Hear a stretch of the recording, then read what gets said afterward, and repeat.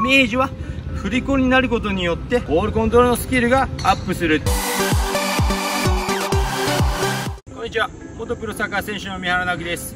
今日は1日5分でね負けなるボールコントロールっていうのを教えたいと思います、えー、僕のスクールでもねこれよくやってることで、まあ、このジュニア年代にねやってる必要なことっていうのは、まあ、3つ言ったんだけどこのまず2つかな、えー、止めると、えー、蹴る、えー、まあそのね、2つが入ってる要素をこれを1日5分やるでやるだけでも、えー、まあ、めちゃくちゃボールコントロール上手くなると思うんで、えー、この、えー、今日紹介するダブルタッチね、ダブルタッチっていうのをやるんだけど、僕から学んで、え自分のスキルに活かしてください。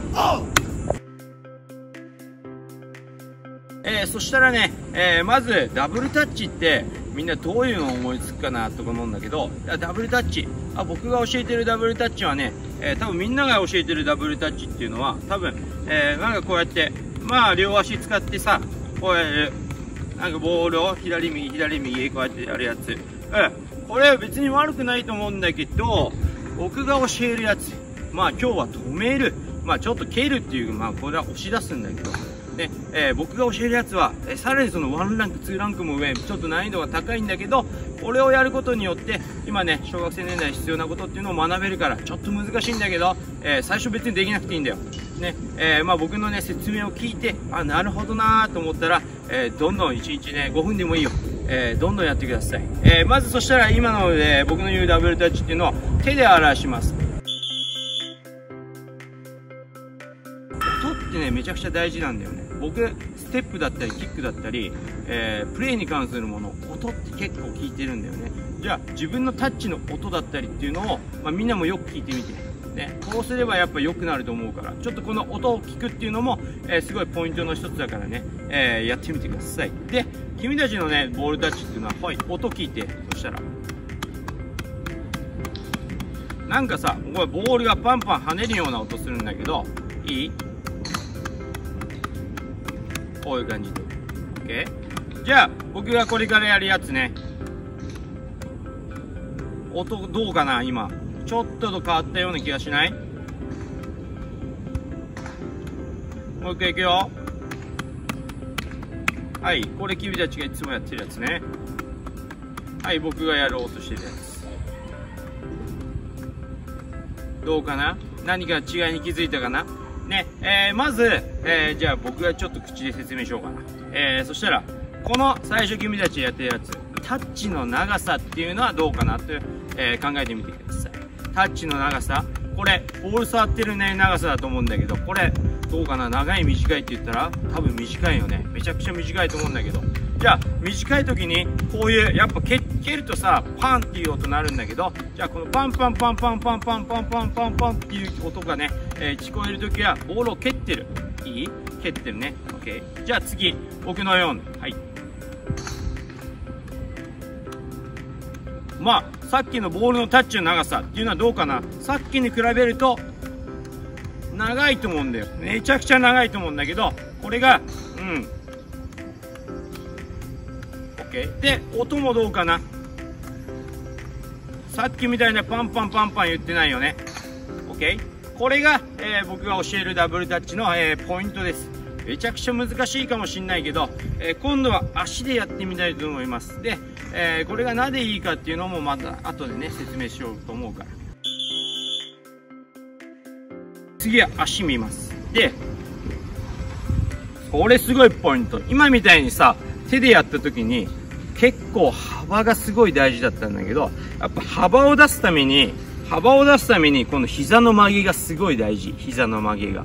いい？これがピンってなってる状態だと、この幅しか動けない。けど、膝が曲がってる状態だと、さっきね、僕がやることを、えー、すごいやりやすくなるから。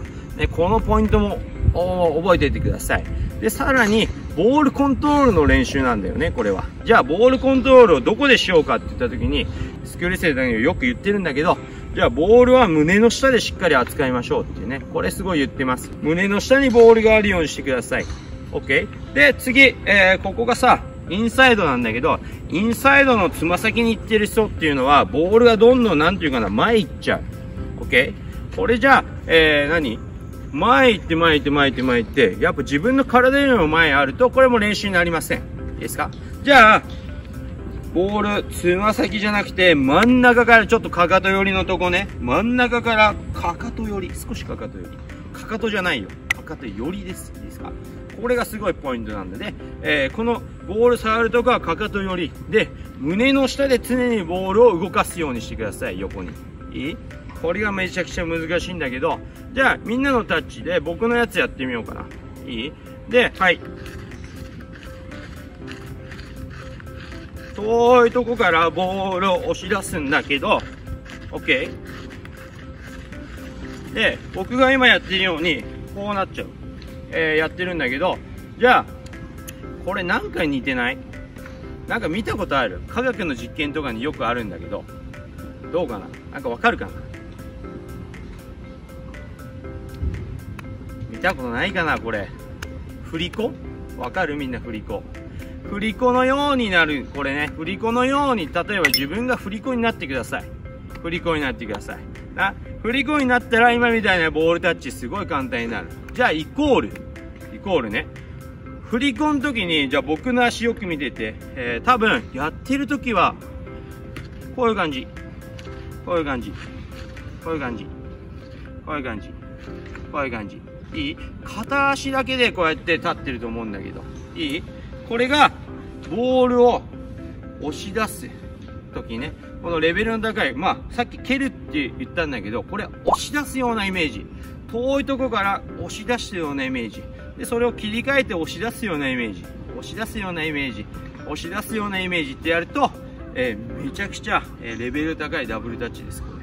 えー、これは、本当に難しい。大人でもプロでもなかなか難しいと思うんだけど、いい？で、やっぱり押し出すことによって、えまあ、音もそうなんだけど、やっぱりボールが、いい。入れ替えの瞬間、入れ替えの瞬間ね、入れ替えの瞬間、入れ替えの瞬間ってこうやって、入れ替えがめちゃくちゃタッチ長いのにスムーズだと、あんまりボール回転しないから、いい？これも自分の入れ替え、自分が長くタッチしてるっていう目安になるので、いい？これもよく見てください。まあ、下見ながらでも全然いいからね。で、あとは、片足振り子のようになりたいなら、こういうなんていうかな、まあ線を引いてもらってもいいし、例えばこういう丸のポイントに片足ずつ乗せていく。その中でしっかりと、おいごめんね、今ちょっと、へこんでるかな。片足ずつ置いていく。その中で、えー、その中でしっかり、えー、何、遠いとこからボールを押し出していくっていうポイントがすごい大事になるから、まあね、これも1日5分やるだけで、めちゃくちゃボールコントロールだったり、このさ、押し出すっていう動作は、止める、ボールを止めるね、えー、コントロールするのの動作ですごい似てるから、ね、えー、めちゃくちゃ練習になると思うよ。ね、今言ったポイントっていうのを忘れないでください。いいですか？まあ、幅がすごい必要、押し出すには。